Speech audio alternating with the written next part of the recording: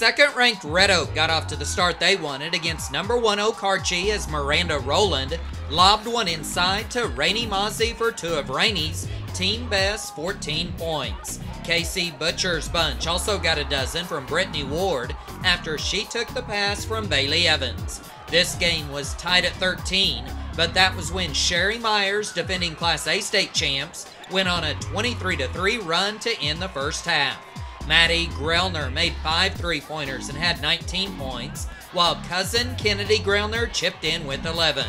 Tournament MVP Morgan Vogt had 23 points in the title contest, and Lacey Friesen added eight in her final high school game. Okarche gets back to back gold balls, winning their third in the last five years and their fifth in school history.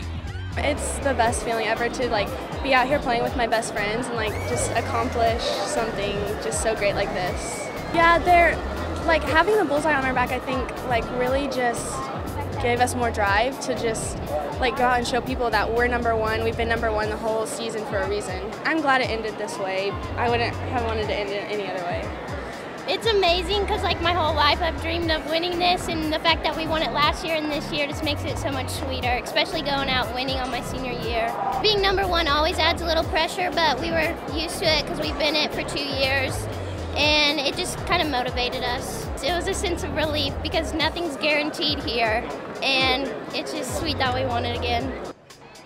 The boys' final had top-ranked Forgan matched up with number three Lookeba-Sickles. Forgan's Chandler Breyer wowed the crowd by hitting sweet shots all weekend long, while his cousin, wearing the same number for the other team, Connor Karp, hit the three-pointer and had 22 points for the Panthers, while Chandler had 15 for the Bulldogs. Landon Scales Club also got 22 points from Bryson Lyerly, but Tiny Forgan simply had too many weapons.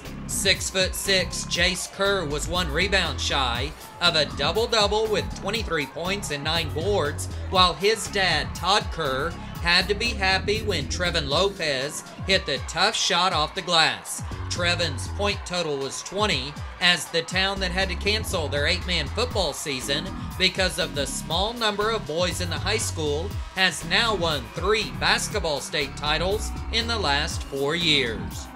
Yeah, it's three out of four for us.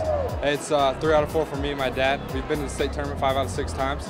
I think I've only I've only lost seven games in my whole basketball career. 20 straight district championships, six straight regional championships, and just it all goes back to my teammates and the guy above. That's all I can give the credit to.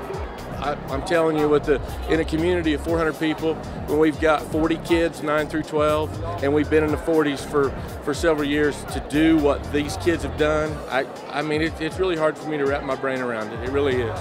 It, it's really special. It's way more than I ever deserved, I promise you. I'm, I'm, I'm truly a blessed man.